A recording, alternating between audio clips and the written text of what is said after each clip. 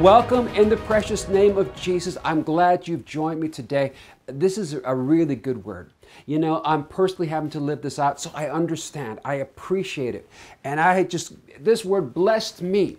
It really encouraged me, so I know it will do great things for you. But before I go to it, I want to share some things, some updates. You know, we've been working on our new website for quite some time.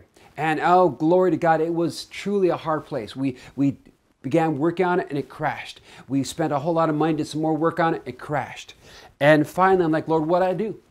And I just had to humble myself and really, a lot of what I'm learning today, you know, live this thing out. Uh, and so we sat down, did what we're doing, what we're going to talk about today, stood on the word, counted it all joy, and we began to rebuild it. And I'm glad to say it really is coming along. It's going to be a phenomenal website. And you can actually go there and get the notes from today's message. And we're going to start adding more and more notes uh, so that you can really go and get this revelation for yourself. Um, get the verses and everything else that I used. Amen? And in addition, you're going to find a wealth of material. It's not all there yet. We're slowly adding. It takes a lot of time. We've got hundreds of videos to put up there, notes and etc. So it's a lot, a lot of work. Uh, but it's going to be a great resource to help people in this hour. Discover, you know, regarding the stories and of the heroes of faith, what they did right, what they did wrong, the revivals of the past, so that we can learn, so that we can be catapulted into our divine purpose in this hour. We need um, pastors to go out and pioneer churches in America, in Europe today. This is the missions field. And I really believe that we need to equip people worldwide um, to understand how did these great men and women of the past do it? How did they get such great results?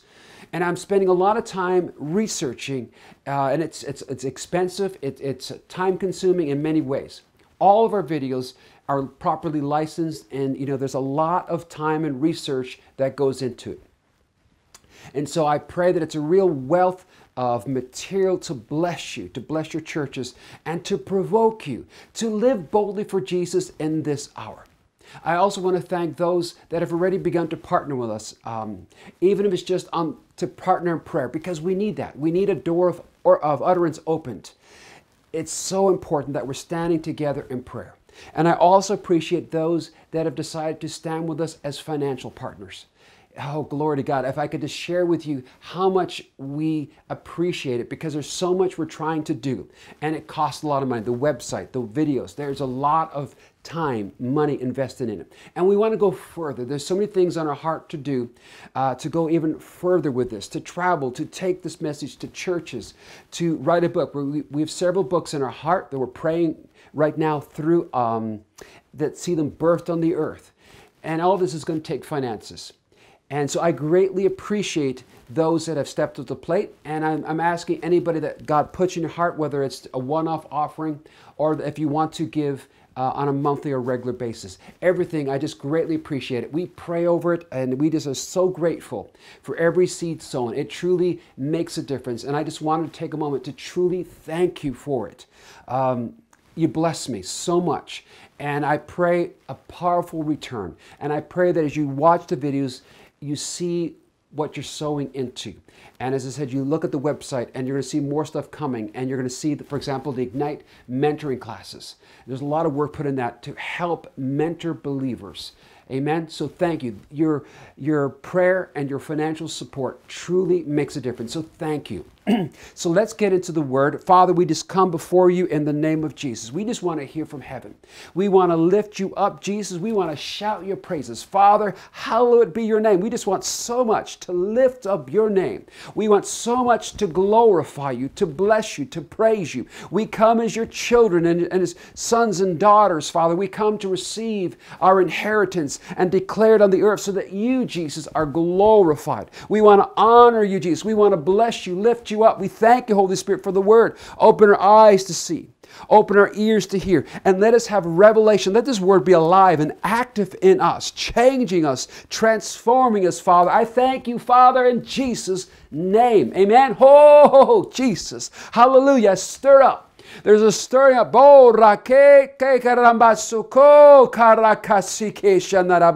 Some of you just need a stirring up, say the Lord God. Some of you need to stir up your spirit, man, and shake off the depression and discouragement because you've allowed the enemy to put on you what you're going through. Oh, glory to God. You know, certain seasons like winter are very gloomy and dark, and we get depressed and discouraged. And what's happened is we've got discouraged because of the hard season.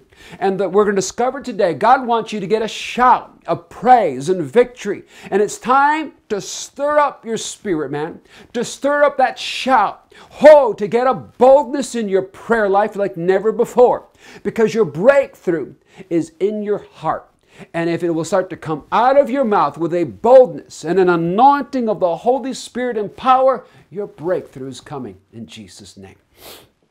Hallelujah. Well, let's go to Ephesians chapter 6. This is our, of course, our foundational verse. Amen. And in verse 17, it says, and I want to just, I'm not going to do it all, but it says, and take, of course, we know the shield, but I want us to take this part, and take the sword of the Spirit which is the Word of God. So I want you to get a hold of it. We've got to take the sword of the Spirit, which is the Word of God. It's your only offensive weapon. It's your only a weapon that allows you to advance and go forward. Many of us stay on defense, and God wants you to get out of defense and get into the offensive. We have stood so oh, too long defending. And many of you have been in a mode of defending yourself. And God wants you to get offensive with the promises of God in advance. Your breakthrough doesn't come by defending, your breakthrough comes by advancing with the word. So let, oh, glory to God. Stay with me. Stay with me. Hebrews 4. Hebrews 4, verses 11 and 12. Amen, amen, amen. Therefore, let us be diligent Oh, God. You get a diligence by stirring yourself up. There's an energy to this, and you're called to be diligent to enter the rest, to get out of the storm, to get out of the gloom and depression, discouragement, and get into His rest. Oh, glory to God. There's a rest for you today. Hallelujah. So that no one will fail through the following example of disobedience. For the Word of God listen very carefully, is living and active and sharper than any two edged sword and piercing as far as the division of the soul and the spirit of both joints and marrow and able to judge the thoughts and intents of the heart. It is alive and it is active and it is sharper than any two edged sword. This word. Oh God, I want you to lay hold of some stuff. We're just going to, I want to come back to this. We're just going to meditate on this. You're going to, we're going to come back to this because this is so important that we get this. But I really hear my spirit today with the Spirit of God saying, Are you ready? And as I was studying this, Lord, it says, Are you ready? Ready for what? To leap. Leap. Yeah, leap into the promises because it says you got to take up the sword. And many of us just want it to fall into our laps. We don't want to do the work and we want somebody else, pray for me. We want somebody else to carry the weight. And God is saying, listen, this is about you. And God is trying to do something that's so much bigger than you, so much greater than you. And you can't imagine. We're looking for a simple breakthrough, but God is trying to do something bigger, greater. If we could just get our eyes open by the Holy Spirit to see. But you have to get into the Word. You're going to have to go and get those precious promises and get a revelation for yourself. And I'm trying to give you my notes because you cannot live off of mental assent. You may agree fully with what I'm saying, and some people don't. That's okay. You know, we serve a supernatural God. He's not restricted to the natural. Some people get offended. Listen, your God is a spirit. Read the word. He is a supernatural God. Every time He turns up, He works supernaturally. He's not restricted to the natural order. He can go in, you know, He's not restricted to time. Thank God. God is not restricted to time. The devil is, And you and I are, which is great because what you're going through, there is a time restriction on it. There's a day where it will end, it will expire. But God is the same yesterday, today, and forever. He lives outside of time. And that's why, as He looks outside of time, He can see before, during, and after. He always knows. There's no surprises for Him. He does not wake up, which He doesn't sleep anyways, but you don't come to Him and He's like, wow, you know, you would have had the breakthrough, but you did that, and I, did, I, I didn't plan for that. He always knows. See, he's fully aware, and we've got to lay hold of this that God is not caught by surprise. And the enemy will always try to disqualify you. You know, you've, you just you blew it. You went too far. You did this wrong. You did that wrong. And get you to the place where you quit, where you stop. Let's go to this. Hebrew, sorry, James chapter 1. James chapter 1. Consider it all joy my brethren, when you encounter various trials, knowing the testing of your faith produces endurance. And let endurance have its perfect result, so that you may be perfect, complete, lacking in nothing. Perfect, complete. You see, God's trying to bring you to a place not just of your breakthrough, but to where you are complete, perfect, lacking in nothing, entire. Where you've come to a place of maturity where you have, see, many of us take this thing, and this is a wonderful promise. And we share it with people. You know, you're going through a storm, and we share that, that word.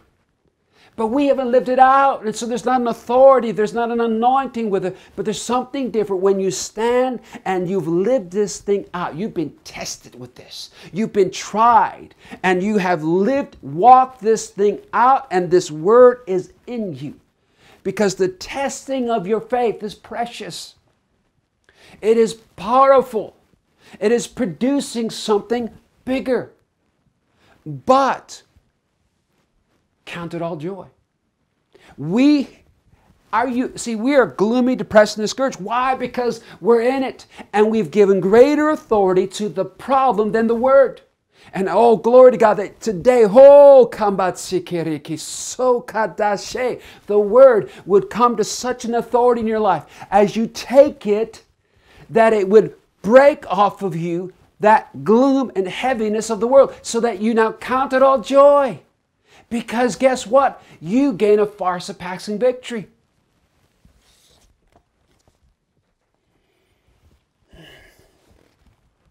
you come to a place where you can boast of the word and of the promises, and you have a joy because the word is settled. And you know God cannot, God will not fail his word.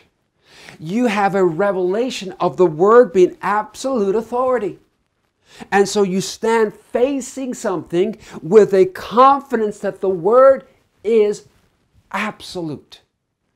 It is final. It has looked at every angle, every situation, and it is perfected. It has the right answer for what you are facing. There is nothing that the Word cannot answer. Cannot.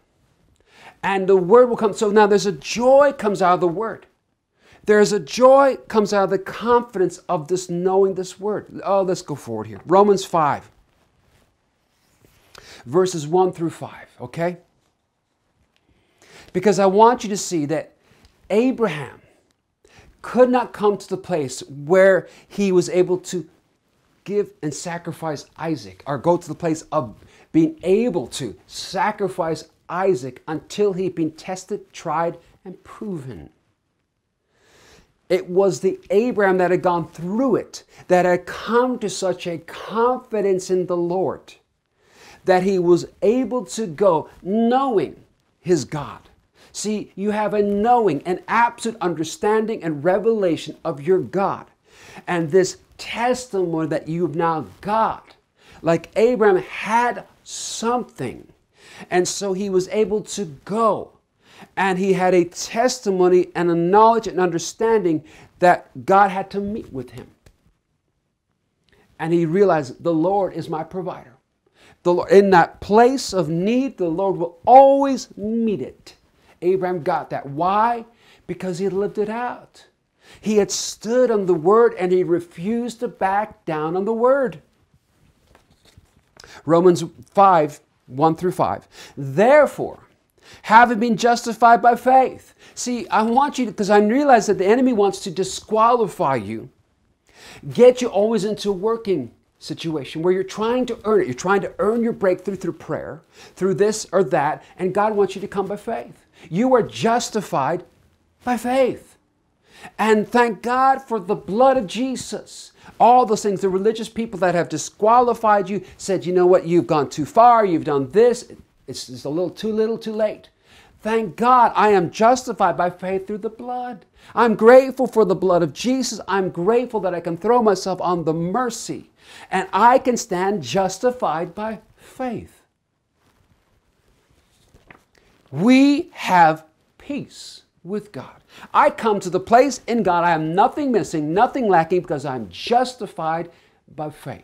Now, I made a statement here, and some people didn't get it. The treasury of God, that abundance of His grace that is made available to us through Jesus.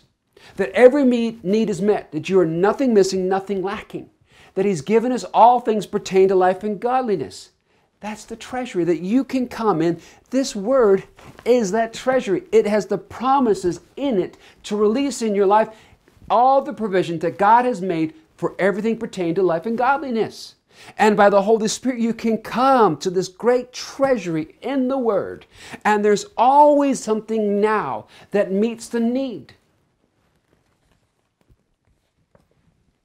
We have peace with God through our Lord Jesus Christ, through whom we've also obtained our introduction by faith into this grace in which we stand. And we shall exult in the hope of glory of God. And not only this, but we also exult in our tribulations, knowing that tribulations bring about perseverance. And perseverance, proven character. And proven character, character, hope, sorry.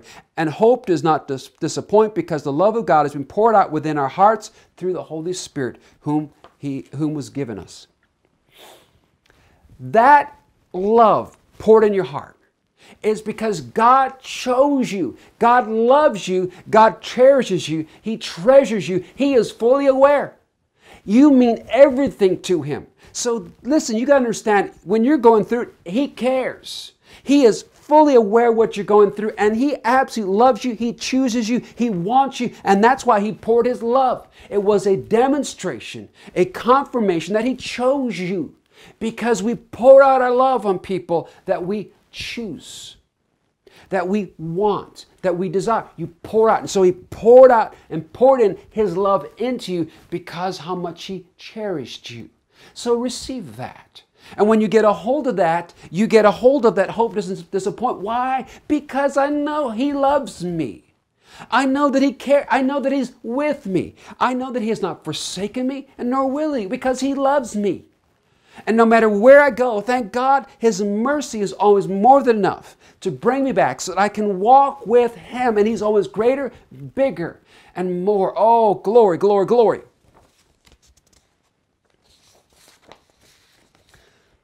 It says in Romans 4:16, we discover that he is Abraham is the father of the faithful. How? Because he lived it out. And that seed that was in him is now in you as a son. That seed of Abraham of being a father of the faithful. I want you to realize, you know, you look at the season that Abraham had to walk through, the hard season of trusting God for a son the very thing that was dearest to his heart. And God knew it. And year after year after year after year, have you endured year after year after year after year after year, trusting in a promise because he came to a place where he knew that God could not lie. And he would dare believe and stand and refuse to quit or give up until God did it. And so that's how he became the father of the faithful, the people that are full of faith, because he proved it. He walked it out. He did it. He did this word. And so we can look at his example of how God is faithful. if we'll just stand. Listen to this Hebrews 4 14 to 16. Because sometimes you come to this place where God, it's just too heavy. It's too hard. It's too overwhelming. God, I just, it's about to crush me. I cannot bear it. It is too difficult. God, you've got to come through or I'm going under. It's too much. And maybe you're there. I'm glad that He says, Come to me, all who are heavy burdened. You got to come now. Oh, stay with me. Stay with, stay, stay. Hebrews 4 14, 16. Therefore, since we have a high priest who has passed through the heavens, Jesus, the Son of God, let us hold fast our confession. For we do not have a high priest who cannot sympathize with our weaknesses, but one who's been tempted in all things as we are, yet without sin. Therefore, let us draw near with confidence to the throne of grace, that we might receive mercy and grace in the time of need. Jesus, come unto me, ho, kamba, all who are heavy burdened, ro, kamba, and I will give you rest, for my yoke is easy. God wants to, would you come? There's a place He wants you to realize that He was tempted in all ways, like you. He fully understands what you're going through. And He has provided an answer so that you can hold fast your confession. I wrote down certain things that I want you to get in this verse. Keywords hold fast your confession, draw near, confidence, and receive. Let me just say those again. Hold fast your confession, draw near, confidence, and receive. So God wants you to get a hold of this, that you're to hold fast your confession. You have to have a confidence. You're going to have to draw near and you have to receive. You're breaking through. So here's the one that sympathizes in this difficult place and he understands what you're going through. And he's saying, Look, here is how you can receive what you need in the hard place. Hold fast your confession, have such confidence, draw near, and receive. Draw near. That there's what? Mercy and grace. It's the throne of grace. So it's not by earning it. It's not, you cannot put up a defense based on if I pray longer, if I pray harder, if I do this, if I do that, if I fast. You cannot earn it. If I do pray, if I do fast, it's my pursuit of Him, not to qualify myself for the promise because it's the throne of grace. And it's also, I can receive mercy and grace. So if there's something that I've blown it or missed it, I can receive the mercy first so that I can get the grace. God has got everything I need provided, and I can come by simply holding fast my confession. Come with such a confidence, which is an understanding of who I am in Him. See, when I come as a son and as a daughter, as an heir and a co heir, and when I get that awareness that He is the Lord my God, and I have this relationship with Him, it changes how I pray, how I approach the throne. And it changes how I hold fast the promises because these promises now are for me. These promises I am qualified for through Jesus. And these promises are yes and amen in my life. And they are more than enough to meet the need and overcome the situation in my life. His promises. Amen? Now, I, I wanted to just hit this. The word is alive and active. Alive. The word is alive. And so when you get these, this word in you, it will grow. It will increase. It will begin to move. It will begin to do. It's active. It does things. It will take the dead areas in your life and it will breathe on them because you, you know, being a scientist, there's certain definitions that go with the word living.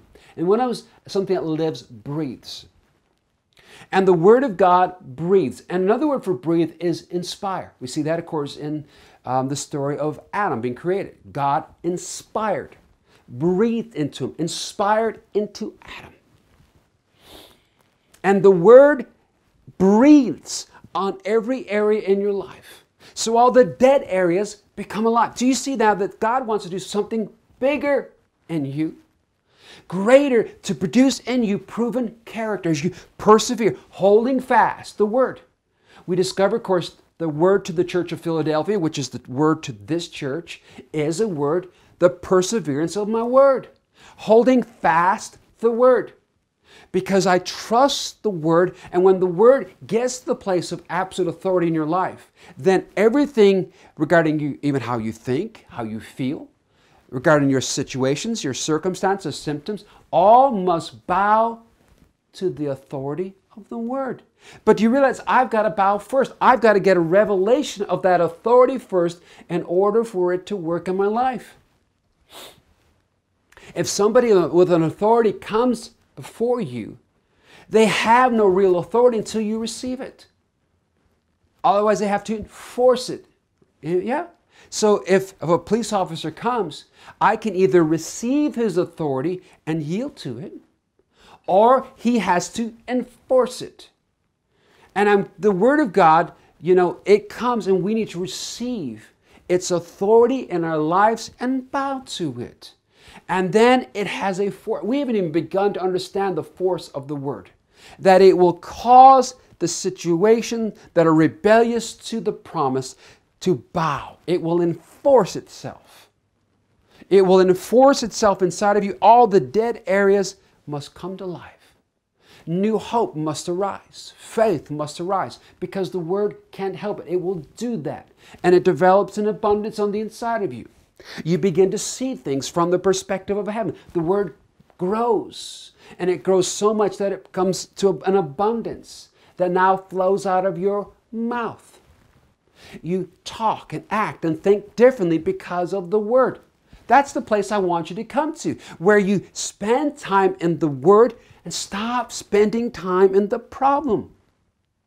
So that the word is now so alive so rich in you, so big in you, that it now overwhelms you. And you see things because you know, I'm standing for a job. I don't know what you're standing. If you're standing for a job, God doesn't want to just bring you a job.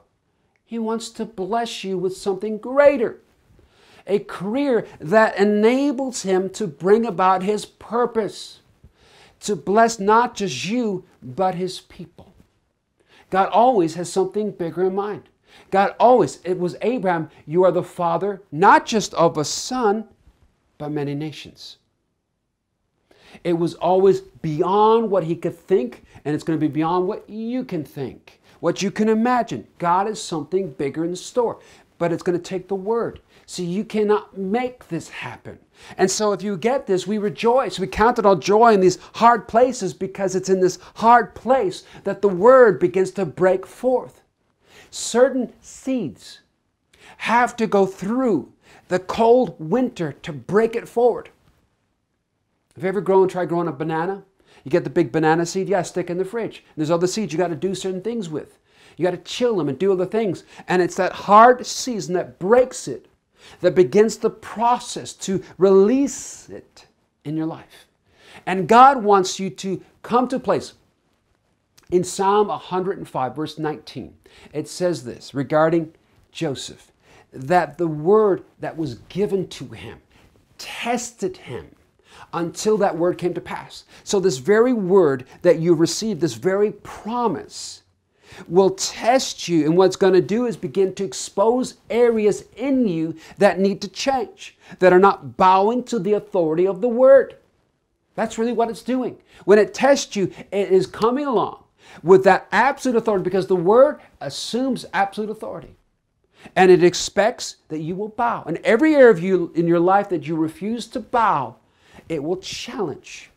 Because that has to bow in order for the word to produce the fruit that you need the peace, the joy, the kingdom of God in your life, the bigger breakthrough.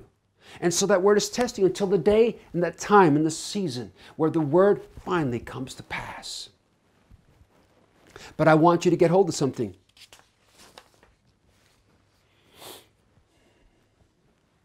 That you have to hold fast the confession. And you're going to have to watch, another word is profession, what is coming out of your mouth and defines the way you think and act. If you have hold of the word as an authority, how you think and act, how you profess, how you do, the very livelihood, your profession, your confession, now bows to the authority of the word, and you hold fast that. And no matter what the season says, I hold fast this, the profession of my faith. It's what's coming out of my mouth. And I count it all joy because this profession, the word, cannot, will not fail. God's word is authority, and I know it. And I now have a confidence. And I love that word confidence because within that confidence, there's a boldness and a liberty to speak. I have a confidence and a boldness, a liberty, and there's a cheerful courage, a confidence that comes forth in that word. To come before the throne and know that as a son, and know that as I ask His word, His word is His will. And if I ask according to His will, He hears me. And if He hears me, I have the petition. And not only that, I have a high priest who sympathizes with me, and He will give me grace and strength so, in the midst of the storm, I can count it all joy. So, in the midst of the storm, what starts to come out of your mouth is a shout of force, of victory. You know, one of the things I want you now to get, it's your offensive weapon, is the word. And for too long, what happens is we've been on the defensive against the enemy. And it's time to take the offensive against the enemy, against your circumstances, and start declaring the word. Start attacking with that promise. But it's got to be in you to the place that it you have bowed to the authority of that word. That sword you understand. You've developed the skill to use it. A sword in your hand is useless unless you have the skill and the, the, the power and the authority to use it. And so now, when I have such an authority through that time with the Spirit to use it effectively, there's a fear that comes on the enemy's camp, and this word now causes those situations, those circumstances to bow because I've already bowed. And this sword is saying and enforcing it in my life and enforcing it in my circumstances. It's time to tell the devil no. How many of you got hold of the promise of God and said, No, devil? Ho rekese kambaha. Ho kambatsiki. Some of you do also need a shout, said the Lord. A shout from your spirit man based on the word of final authority to tell the devil no. It's time to speak to your storm, the word. It's time to speak to the mountains, move, the word. Your promises need to be so alive in you as final authority that you now speak it. And you'll know that it's final authority when there's a joy, when you count it all joy, and you now get to the place where God, I'm here to just rejoice in you. I'm here to boast in you. I'm here to glorify you. Because remember that our Father starts, hallowed be thy name. To hallow, to glorify, lift up, magnify, worship the name.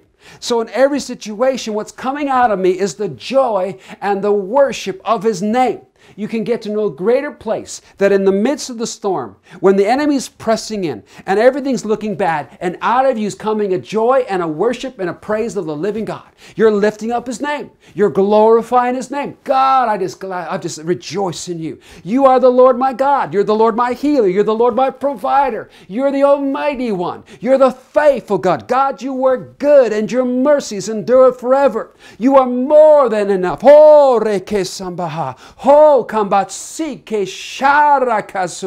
you are a supernatural God. You're not restricted to what I can see. You're not restricted to what I can feel. He's got a thousand one ways to bring uh, up what you need. He's got more than enough resources to meet the need. God has a way.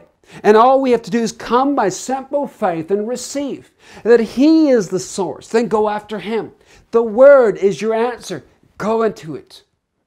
If you can get this, if I but touch the word, Do you remember the woman with the issue of blood? If I but touch the word, I hear the Spirit. Ro kambahasi. Hey, hey, hey, shokanareke. If I but touch, ho, the word, saith the Lord God, if you will just touch the word. This is the authority. She touched the hem of his garment, the tzitzit, the authority, the place of authority. I'd have to spend and do a lesson on that, but you're going to have to trust me.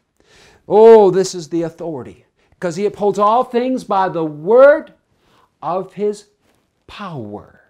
This is the authority. In the beginning was the Word, and the Word was with God, and the Word was God. And there's nothing that came into being this Word. This Word, there is nothing that will change in your life to bring about His will without this Word. Your breakthrough won't come without this Word. You got to touch it. And when I'm touch it like a woman the issue blood, you got to go after until you get it and get a revelation and it's living and you get that unction. You've got it when the unction of life hits you. Get in the Word. Begin to declare the Word. Say, Devil, I'm done with you. Get out of my life. Get out of my circumstances. I'm tired of lack because I, I am the head and not the tail. Go back to last week's message. I am the head and not the tail. I come above only and not beneath. Everything I put my hands to prospers. Go through. What, what promise do you need? Get it. And get it till it has an authority in your life and in your mouth. And you begin to speak it. And you've got a joy and you're just rejoicing, lifting up the God of your salvation. He is your light in your salvation. He is more than He's my living hope. I just lift you up, Jesus. I honor you, Jesus. I worship you, Jesus. I just praise the name of the Lord God. I honor you, Jesus. I dare to be a fool for your sake. I just worship you in this place. Oh, I give you joy. I give you, oh God, there's a joy in me. There's a worship in me. Glory to Jesus. Glory, glory. Let the worship arise. Let my spirit man be stirred up. Let the promises be stirred up on the inside of me. Come forth in the name of Jesus. I speak life over my breakthrough. I speak life and I call things forth in the name of Jesus. I call forth that a job. I call it forth in the name of Jesus. I call forth that healing in the name of Jesus. I call forth that peace. I declare it so that Jesus cannot, will not fail his word. I decree his word in my life. I declare, Father, thy kingdom come, thy will be done in my life. In Jesus' name, you are my healer. You've given me all things pertaining to life and godliness. Father, I receive it. I receive it. Remember that word? Receive it. We receive it. We receive it, God. We receive it as an authority. We receive it as done. And as a consequence, we give Him thanks. Amen. I pray that you're getting this. I pray that now there's a confidence in you. There's a change in you. And there's going to be such a change that the grumpiness, the complaining, the impact of all the pressure is off of you in Jesus' name. I break it off of you in Jesus' name. And I declare that you have peace in Him, you have joy in Him. Get into the Word. This is your answer. This is your answer. Go after in the Word. Your Word, the Word is alive and active. Amen.